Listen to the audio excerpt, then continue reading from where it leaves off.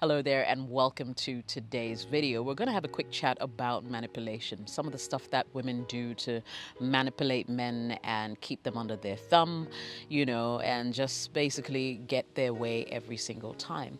Now let me say this, that if you're a woman watching this video, you can pretty much flip the script on most of the stuff that I'll talk about and if this is something that your guy does as well, then at least you'll know that you are dealing with a manipulator. So, if you're ready, let's jump into today's video.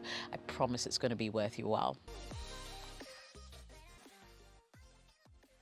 Welcome back. My name is Jessica, and this is my YouTube channel. So, in the true context of the word, what does it mean to manipulate? It means to control or influence unfairly or unscrupulously.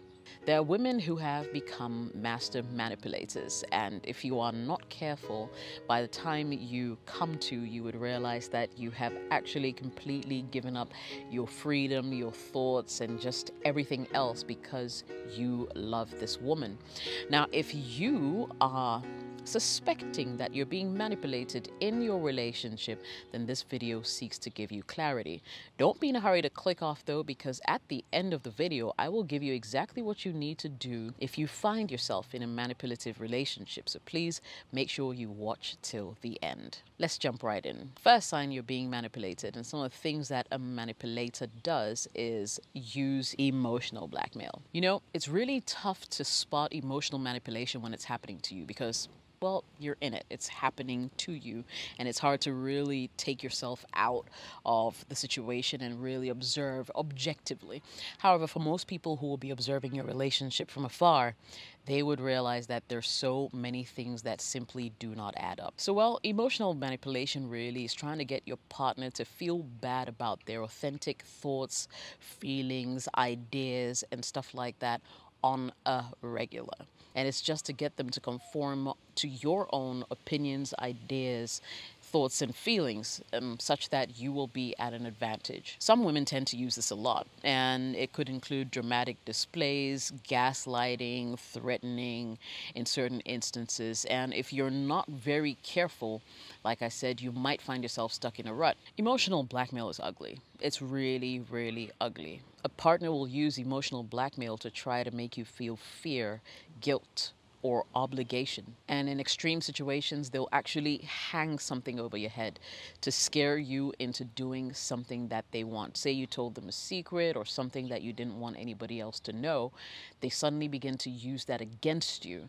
And um, if you don't do things their way, they promise to tell everybody about it. Emotional blackmail is very ugly and it's a big red flag when it comes to relationships. Number two, sex.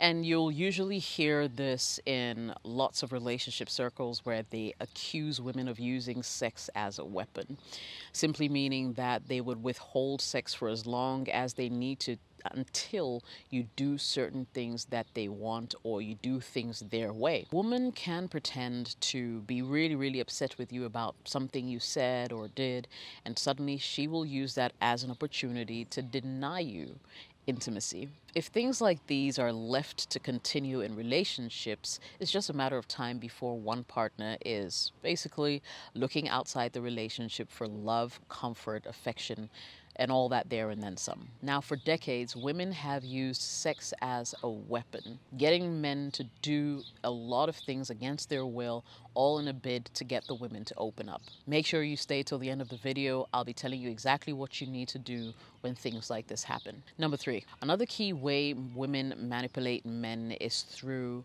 excessive compliments. And this particular pointer also goes both ways. However, if you're in a relationship and especially when it comes to certain requests, it just seems as if all of a sudden your partner, your woman, your guy, you know, are buttering you up a little bit too much, you know, um, and this isn't something that they ordinarily do, um, you should be on the lookout. There could be a whole manipulation thing going on there, you know. Um, the excessive compliments can come across as playful, and you could almost fall into that trap if you're not smart enough to decipher it. A typical example of how this happens is when suddenly, you know, your woman seems to be full of high praise for you and something that you do on a regular you're wearing the same kind of outfits that you wear every day to work, and suddenly today you showed up wearing the same outfit she's seen a thousand times before, and she's quick to try and butter you up and let you know that you're the most handsome man in the world. The key word here is excessive, meaning that it goes beyond the usual compliments that you get. If your woman is saying things to make your head swell, there could be another request that might be coming your way that will blindside you. So do not be quick to fall for such shenanigans, as it may just be her secret weapon to get what she really wants from you easily. Number four is they want you to prove your love. Yes, and this comes in different shapes and sizes. But the key identifier is always this phrase if you love me. If you love me, you will do X, Y, or Z. If you love me, you will pay for an air ticket for me to go on a trip with my girlfriends. If you love me, you will buy me that car. If you love me, you will do X, Y, and Z. They use the fact that you are so in love with them to get you to do what they want every single time and without fail. Now, in as much as that might not necessarily be a terrible thing, the problem is when it becomes a constant feature in your relationship, right? Because people do that from time to time. Sometimes it's in jest and shouldn't be taken too seriously. But when it becomes a regular feature, then you should know that there's something seriously wrong. She may be trying to manipulate you into doing things every single time.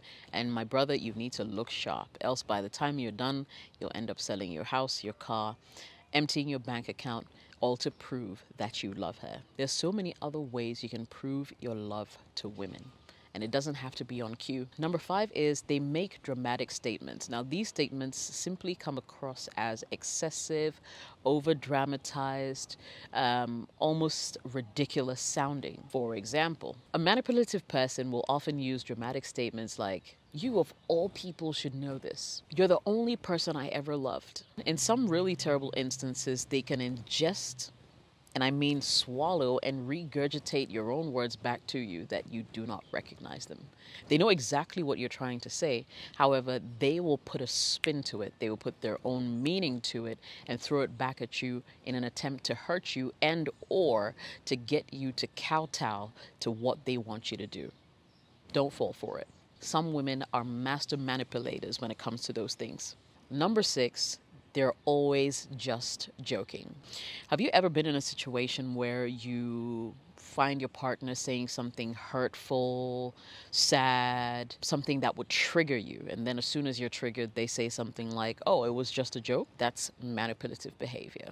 It's almost as if they poke the bear. They do that to try to elicit a certain type of response from you. And if you're not careful, you may take it too seriously and an argument might break out. Once you understand that a lot of people like to use this just joking tactic to really usually talk about or convey what they really feel about certain situations, you will know that it really isn't just a joke and it isn't fun and games anymore. There are usually hidden meanings, hidden sentiments behind these jokes that nobody else finds funny. Usually, women will really use this to convey how they feel and use the whole um, joke.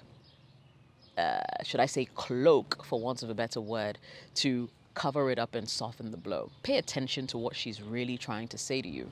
It's not a joke, and you should take it as serious as you can. I believe that there are certain things that people shouldn't joke with, and this whole, oh, I was just joking when it comes to relationships really should come to a halt.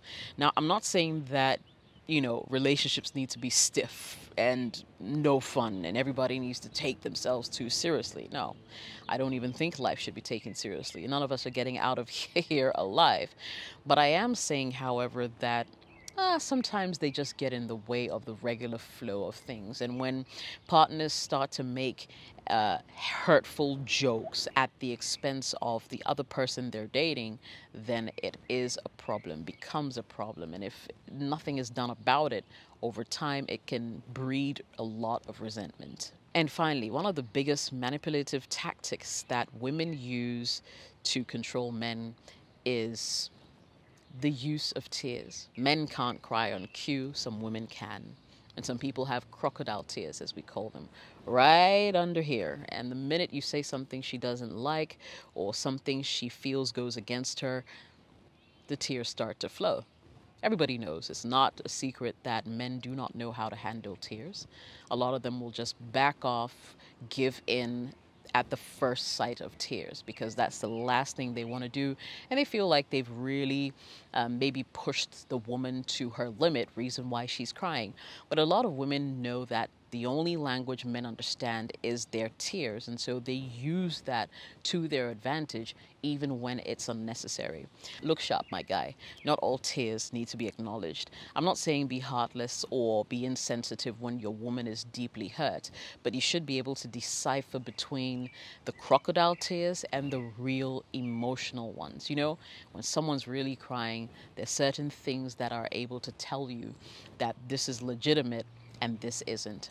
Look a bit into it and you'll be surprised at what you find. So what do you do when you're dealing with a woman who's manipulative? I think that there are three general things. Number one, in every situation, make sure you think before you act, okay? Never take things at face value. Think deeply. Take the situation into context and make sure you take a decision based on the full picture and never what is just put before you. Think clearly. Do not be pressured into making any final decisions or quick, rash decisions. And if you need time, ask for it before you respond to certain things. Think clearly, and you should be good to go. Number two, sometimes you just need to learn to say no. I know a lot of guys and a lot of people generally find it difficult to say no for whatever reason. They feel bad, they feel like the other person will be hurt, they feel like the other person will think they don't love them enough if they say no. But sometimes saying no is healthy for you. It frees up your time to do other things that you really want to do instead of committing to every single thing that someone you love has requested for. It's okay to say no. If they really love you, they should understand. They should be able to truly break down what's happening and understand why you had to decline as opposed to giving them a positive review or comment. And finally, if the manipulation is getting too much, what you want to do is decide on whether you want to stay in such an abusive, emotionally abusive relationship or to leave. Most people can manage manipulation. Most people can come back from manipulation, but then there's also a whole other group of people who do not handle it well. If you feel like the manipulation that you're feeling in or experiencing in your relationship is going against you, is, is, is challenging your mental health, is making you unhappy, then maybe it's time to take that tough decision and walk. I hope you found this video helpful. If you did, smash the like button. Don't forget to subscribe. And you can also join my channel as a channel member. I will appreciate you so much. As always, I'll catch you in the next video. Cheers.